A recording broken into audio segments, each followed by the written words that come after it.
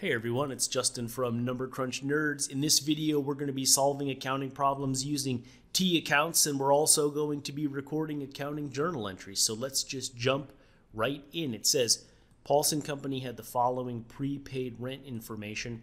Paulson paid 42,000 prepaid rent on a one-year lease starting November the 15th, 2022. It says Paulson does a monthly calendar closing of the books. It says prepare the necessary journal entries for November the 15th November 30 and December 31, and then determine the prepaid rent account balance at April 30th, 2023, based solely on the information above. All right, so step one, the first step in solving any accounting problem, as always, is to what? Organize the information you're given. Don't just read this again and again trying to solve it in your head. That never works, okay? You have to organize. And when you're given information about account balances, the first thing you should be thinking about is, of course, T accounts. So I have a T account right here. Here it is prepaid rent. Prepaid rent is an asset. Asset increases with a debit. So I would expect that the beginning balance, the increases, and the ending balance will all be debits. Okay, all for for all assets, right? This happens to be an asset. Uh, normal balance will be a debit. If I have a decrease, to this asset called prepaid rent, it will be on the credit side of the account right here.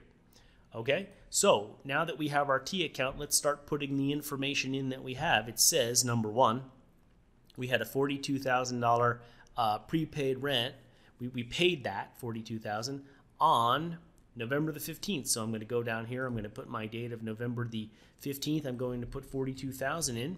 That's my increase. Right, there is no information given here about any beginning balance, so barring any information provided, we're going to say that that is zero. So now we have two of our four balances, right? Beginning, increase, decrease, and end. We don't have the decrease or the end yet. We do have these two. However, we have been given the information to figure out what this is, haven't we? Let's go back and see. It says we have a $42,000 uh, prepaid rent on a one year lease. Okay, so we know that the 42,000 relates to one year of time. Okay, which means what? Well, it means we can calculate a monthly amount. So that's the next thing we're going to do. The lease expense calculation. How much is it going to be per month? Well, you have a $42,000 prepayment, you have a 12 month term of the lease. So we're going to have 3,500 as the uh, monthly rent expense. Okay, so we know that. All right, so now we have two. We, we have step two complete. We know this. We have our information organized here. Let's see what else it asks. It asks for some entries. Okay, November 15th, that's actually the day that we did the prepayment. So we're going to be putting the prepayment on the books. That's going to be the November 15th entry. Then what happens on November 30th? Well, we're going to be using up the prepaid rent, right? Like time will be passing, and so we'll be renting the property and we will be incurring rent expense. And so the prepayment will be getting used up, right? And so as of November 30th, some amount will be used up. Specifically, if it started on November 15th and November 30th is two weeks, two weeks of time will have passed. And then on, no, on December the 31st, that's another month, another month time has passed. So we'll be recording what? rent expense, right? We'll be incurring rent expense and we'll be reducing our prepaid balance, right? That's what you that's what that's how prepaids work. You prepay and then as you as the month goes by, as time goes by, you incur the expense. All right? And so we'll we'll, we'll deal with this one later. So so the next thing is here's an entry, entry and entry. We've got three entries to make. All right? So let's go down and work on that. So step 3, we're going to record the entries. So what's the entry at um, November 15th. Well, that's when we did the prepayment. So, how do you pay for something like this? Well, you pay with cash. Okay? So, the prepaid expense, prepaid rent is an asset. Asset increases with a debit. So, we're going to have a debit on November 15th of 42,000. That's the first one. Debit prepaid rent 42,000. How do we pay? What are we giving up? We're giving up cash of 42,000. So, credit cash the asset cash goes down with the credit right there. So there's my entry. Asset up, 42,000. Asset down, 42,000. That's my November 15th entry. Next up, November 30th, what happened? Well, I incurred rent expense for the two weeks between November the 15th and November the 30th. I have calculated a monthly rental expense to be 3500 which means this amount is going to be what? It's going to be half, right? It's going to be half of this amount. That's why I told you to watch dates.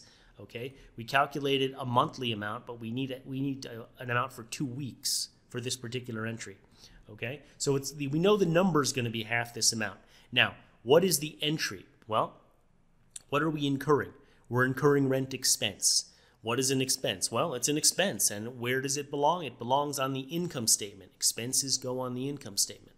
Okay, so how does an expense increase? Expense increases with a debit. So we're going to have debit of 1750 rent expense. This number right here is going to be 3500 divided by 2, right? For 2 weeks of time. So debit rent expense, rent expense is an income statement account, rent expense in, like all expenses, increases with a debit. And what's the other side of the entry? We know the number will be 1750.